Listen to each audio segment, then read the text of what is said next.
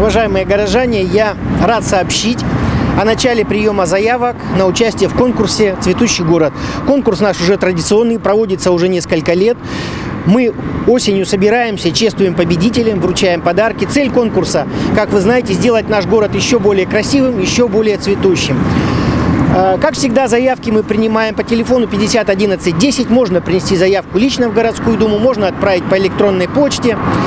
Более подробная информация э, вся расположена на официальном городском сайте и на сайте городской думы. Но могу сразу сказать, что есть несколько новинок в этом году.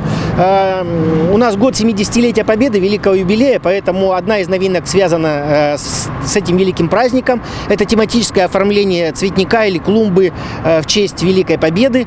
Ну и м, товарищество собственников жилья в последнее время очень активно участвует в нашем конкурсе, поэтому сделана отдельная специальная номинация э, цветочное оформление двора э, территориально э, товарищества собственников жилья. Э, Ждем заявок до 15 августа. Комиссия будет активно ездить, смотреть.